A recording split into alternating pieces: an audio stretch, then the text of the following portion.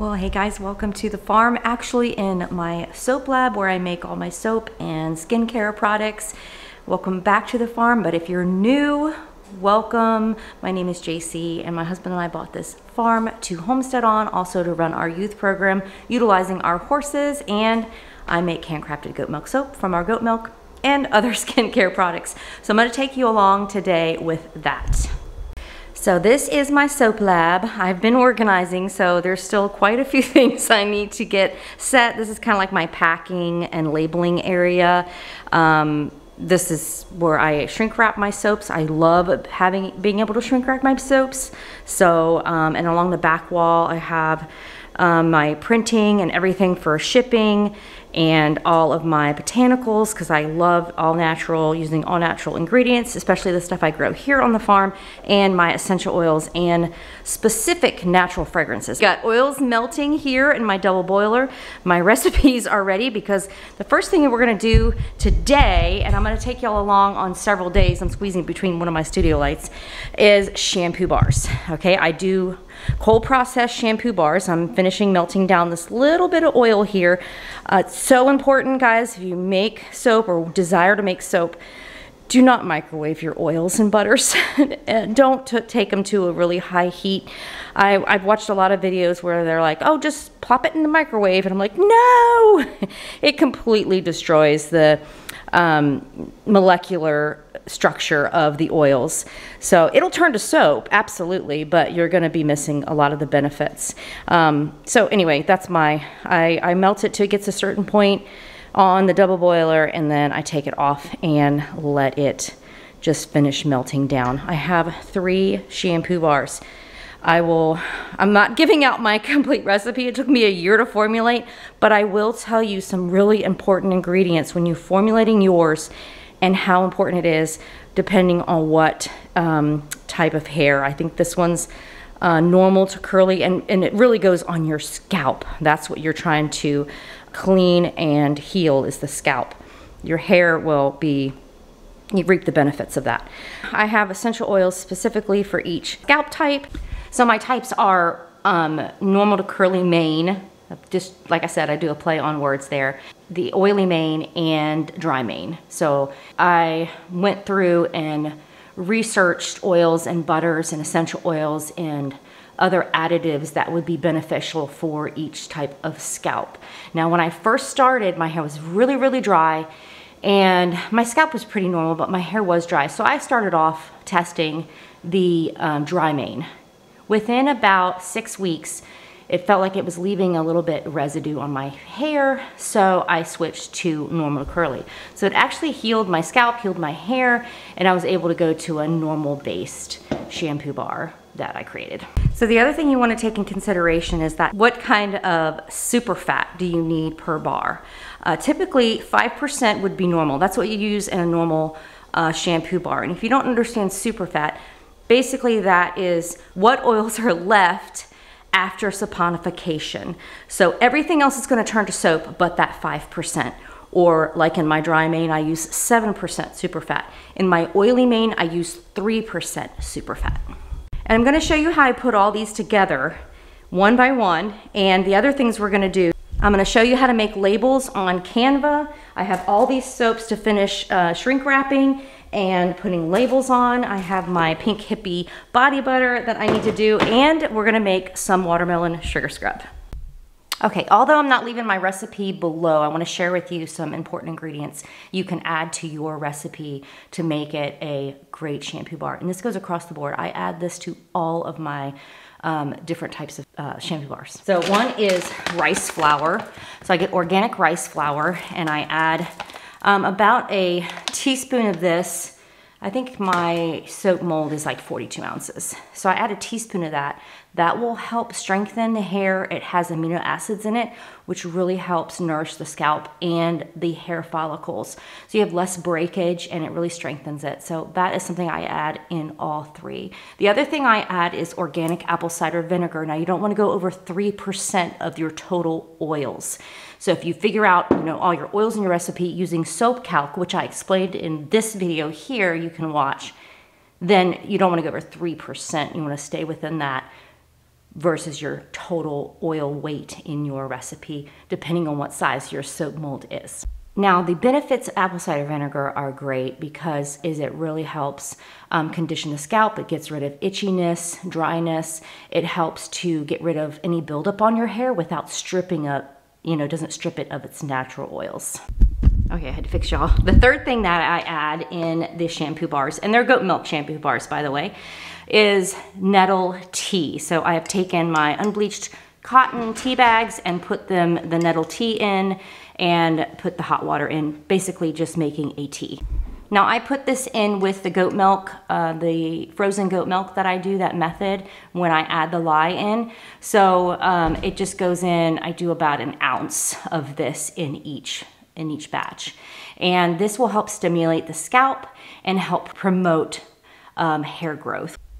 Okay, I'm getting my hair pulled back. The other thing I add is kaolin clay. I add that to every single bar I create. It creates a nice, um, slick um, feel. You know, you can shave with all my uh, soap bars and um, it just is great for the hair and each bar has a specific clay I use as well. I don't use an excess amount of clay in each one. Basically a tablespoon, I mean, I'm sorry, a teaspoon of kaolin clay, a teaspoon of whether it's gonna be pink clay or green clay. I'm trying to remember the other one I use for the oily mane. But I'll, as I go through each one, I'll kind of share those little tidbits with you guys so you can formulate your own recipe. And again, if you don't, if you haven't made soap, I wouldn't start with a shampoo bar. I definitely get your hands really into making soap and then delve into a shampoo bar. And if I would pick one to create, I would create a normal shampoo bar. Basically, that's one that's gonna fit everybody.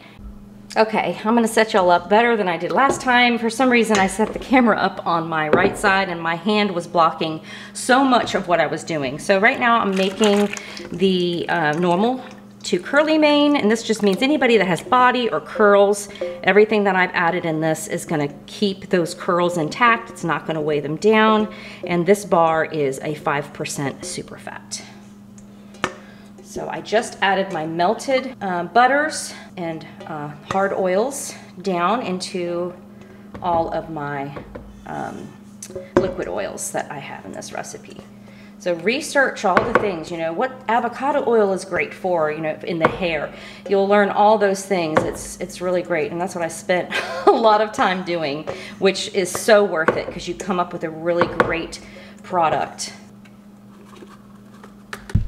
Okay, I'm gonna measure out the essential oils. Um, make sure when you're doing essential oils or any type of fragrance, you wanna use a glass container. 0.5 essential oil ratio in my recipe. And again, you can get all of that um, when you form your recipe on soap calc.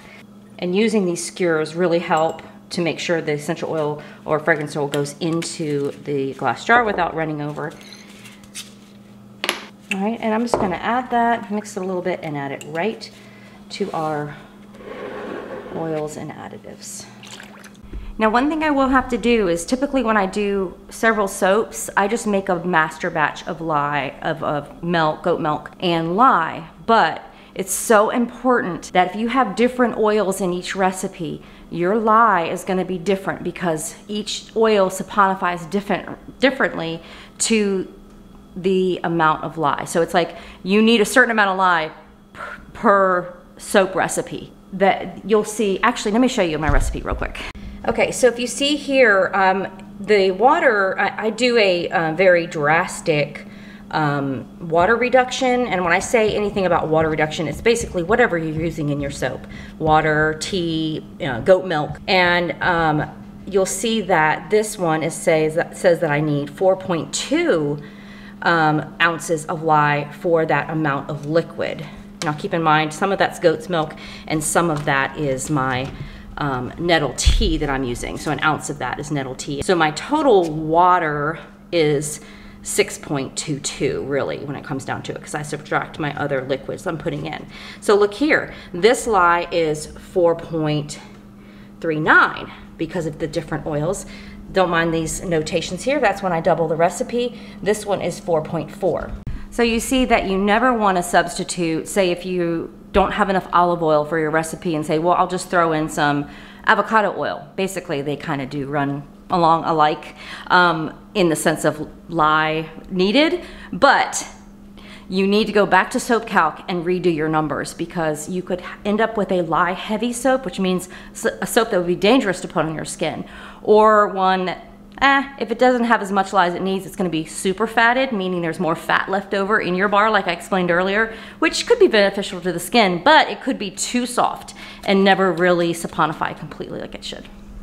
Okay, so my plan is I'm gonna do each one of these how I need it to completely prep with the additives are in them and the essential oils. Then I'm gonna get my favorite containers to use which I am all about, you know, recycling. I love these yogurt containers. Now, this is perfect size for my shampoo bars to be able to do the lye, the nettle tea, and my goat milk. So all together, I'll be putting that frozen goat milk in with the nettle tea. And, and I have three of those. I'll just line them up, measure everything out, and um, start make, mixing them up. So by the time I'm ready, I can just start pouring soap, mixing and pouring. I don't add the apple cider vinegar until my lye and oils are emulsified, meaning that they're blended together. Then I add my 3% apple cider vinegar. Okay, this is for our Oily Mane shampoo bar. Okay, decided to bring y'all up a little higher so you can see what I'm doing here. Okay, so I need to get, put that aside because I'm using that right now, my white rice flour. I'm gonna be using a different type of clay, which is gonna be green clay. I love using my grandma's old jars too. It's like my little apothecary shop. so again, I do about a teaspoon of each of my additives. And kaolin clay. Look at these. So this is normal to curly. It's dry. I mean, this is um, oily.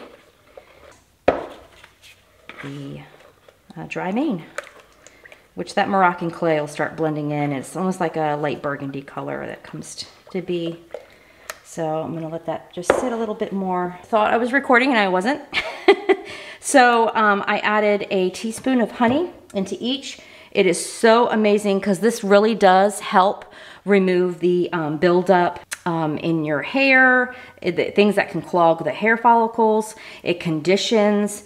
Um, if you have any issues with, I mean, eczema, all those things, it can't dandruff, it can help um, with that because it has, um, you know, antibacterial properties to it. But one of my favorite things, aside from all those great things, is that it creates amazing bubbles. Anytime you add sugar, it creates amazing bubbles. Someone's come to see me. um, so it's um, really great to add. Now, again, this is probably why my batter thickens up so fast, is because anytime you add sugar, it's gonna shoot that trace up really fast. Here we go. Let's start, let's start measuring out our goat milk and nettle tea. Excited to say this goat milk that I froze was from one of my first fresheners. She had a singleton, a Molly Moo, who surprised me. You might have seen the short where I was totally surprised she had her baby, had her dates off. And she typically with a single baby, they like to eat off one side and not mess with the other side. And then it gets so engorged and then they can't get a hold of it. And then the mom doesn't want them eating on it. So I had to go in and um, milk that side. This is what I got. I'm like blown away. She's a first freshener and um, I kept her to see how the milk line would go because my other, you know, her mom and her aunt are amazing at milking and so compact. They're so, you know, they're just, just great. I'm very pleased, very happy. All right, so let's measure that out. Really quick, I just wanna show you, I'm gonna be doing this week a salt bar, my pink salt Himalayan salt bar, and this is rooibos tea that I froze. So this is gonna be used in that recipe. Salt bar is a great bar to add to your product list. Okay, so now I'm gonna add about an ounce of nettle tea, and oh my gosh, that smells so good. Um, I could have froze this too, but I'm just adding an ounce to each container. All right, guys, it's time to put on glasses. I get mine off of Amazon in a big container, and um, it's really great. Okay, that's for this one, the curly to normal.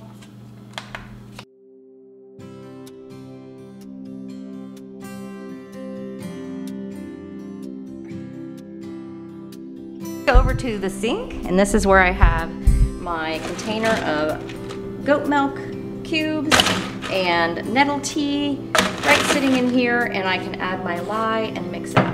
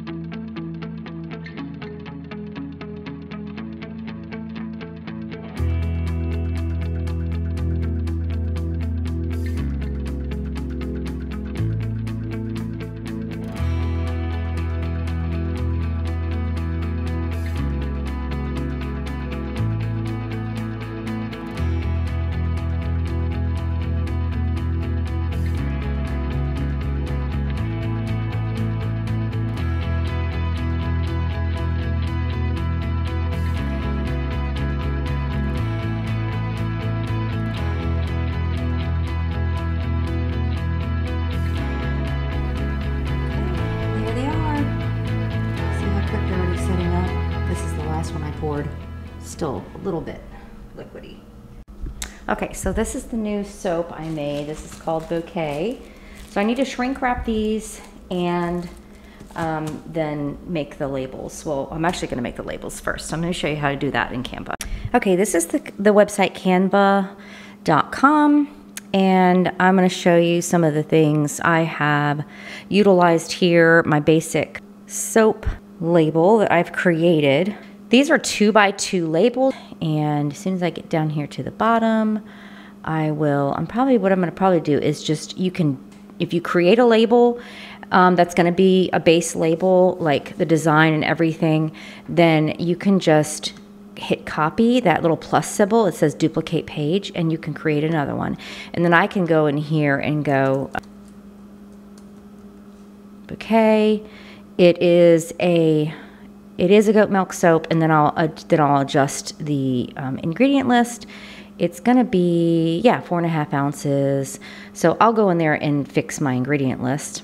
Now, if I wanted to add a page, say I wanted to do something new, you can start fresh and new.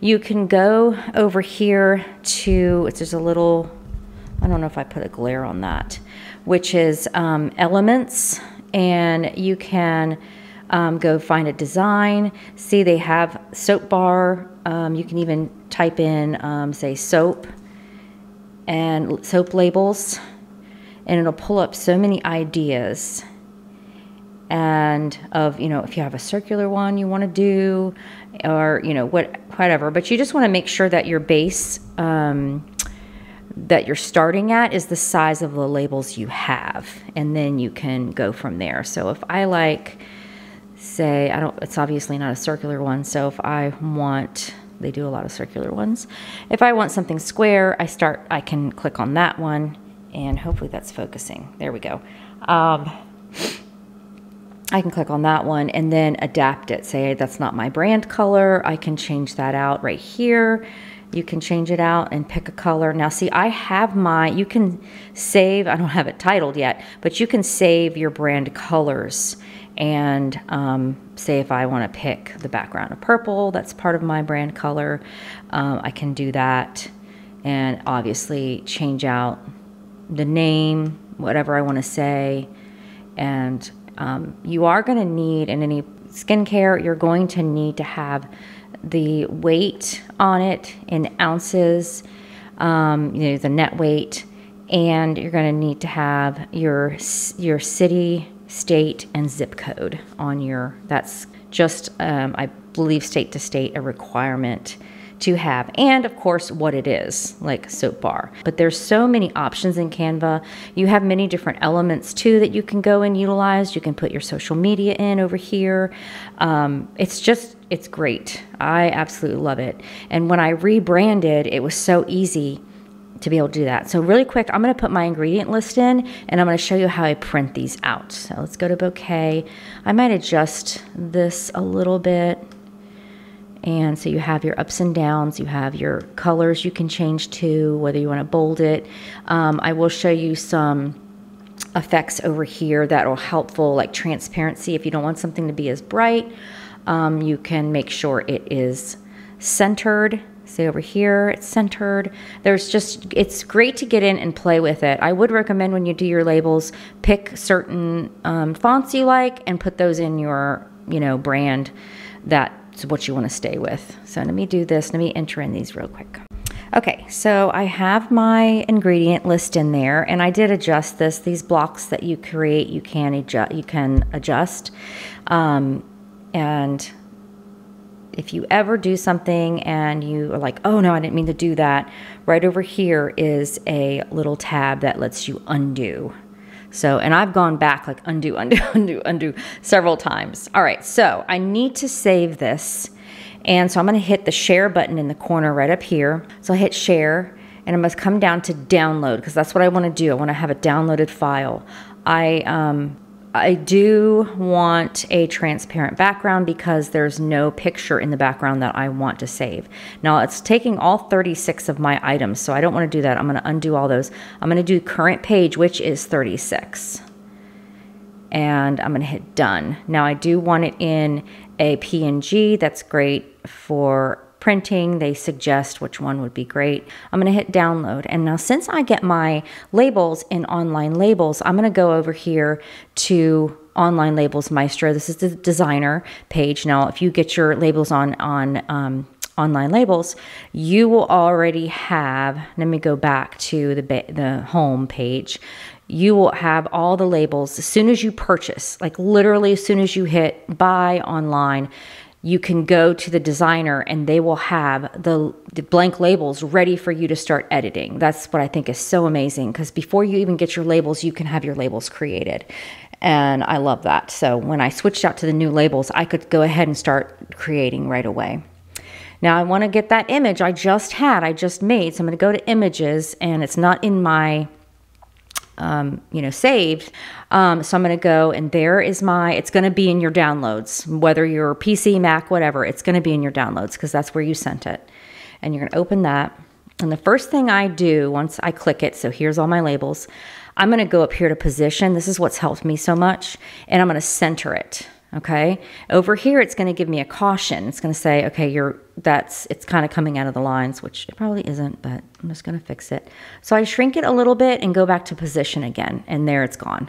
So I'm going to go up to print. Everything looks good. I'm going to go up to print labels, print now, download and print. I'm going to wait until my download's done. It says open file, so now I can open it. I'm going to go to print and printer, you better not act up. Um, see how it looks funky? So it's color. I want it in color. I'm going to hit more settings. This is on mine. You can't see that. I'm going to hit more settings over here. And I'm going to make sure it's actual size. See how that changed that?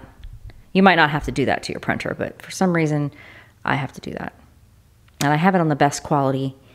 So here we go. I'm going to hit print, see what we got. Cooperate with me, printer.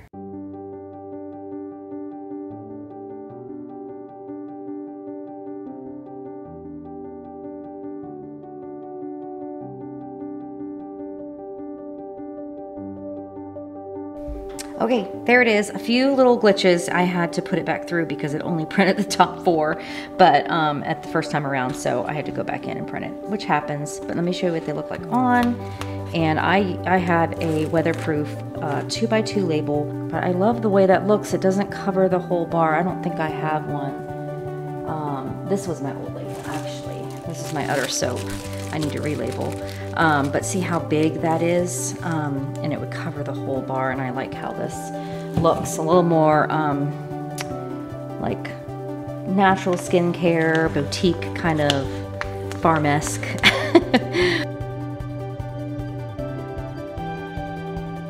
Okay guys, it is now Monday evening around seven. I didn't get anything done in the soap lab today. I had my grandson last night, so if I look tired, it's because I am.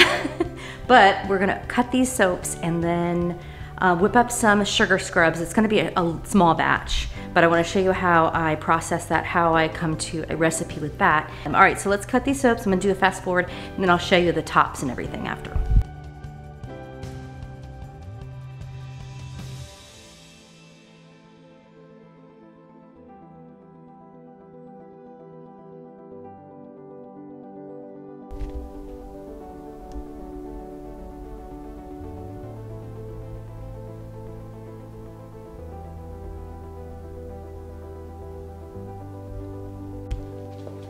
Okay guys, now this area over here is where I make candles and where I whip up my body butters.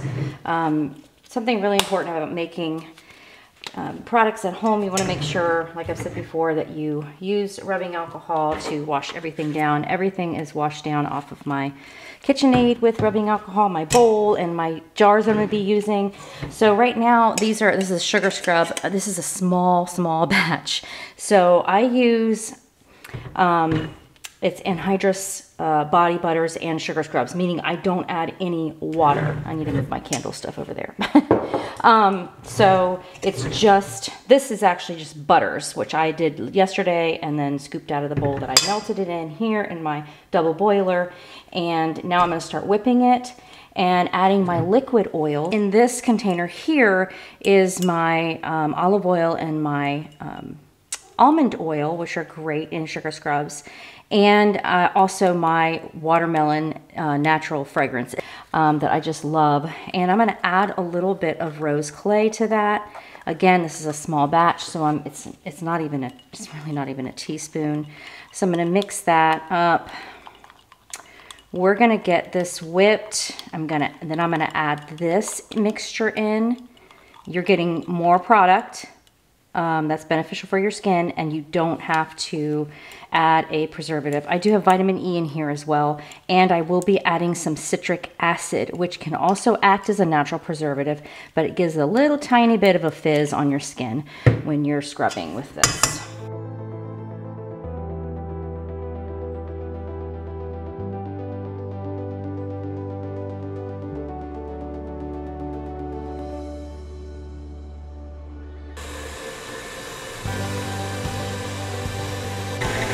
Take the whipping back down a little bit so I can add my liquid oils in and my fragrance, my coloring, my vitamin E. As you can see, it's starting to whip up nice. So, oh my gosh, this looks so, actually looks like frosting.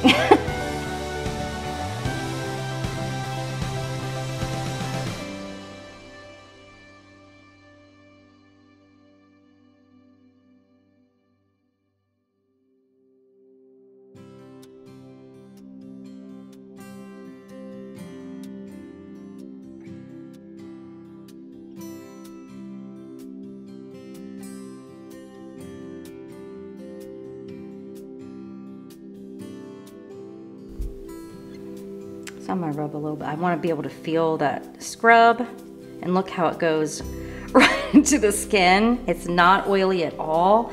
And then I'll just be able to rinse it right off, but it feels wonderful. Perfect amount. Okay, can you see that? The water standing on my, on my skin from rinsing it off? That's what you want, awesome. Okay, so these are my containers. I get these off of Amazon as well, and um, they're BPA free. Um, and this is my method of filling because this is so uh, creamy and it's just amazing. Um, you're gonna wanna make sure uh, that your utensils are clean and dry, that um, you know, there's no water, no water in the containers.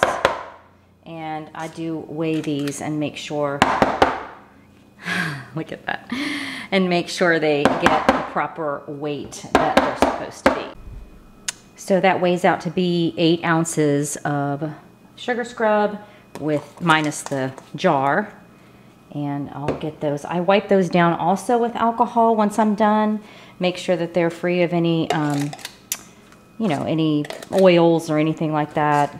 And then let them dry a little bit and put my labels on. And I'm gonna close out here, guys, because I think this video is going to be long enough as it is. Um, And if you have any questions about making your own product, again, um, I'll leave down some percentages. That's how I get that down in there.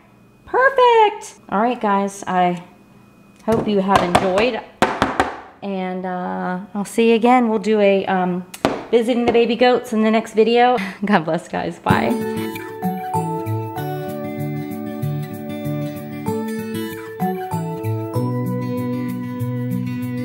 If I had a thousand tongues, I would sing with everyone. Voices like a mountain song. Sing you all my own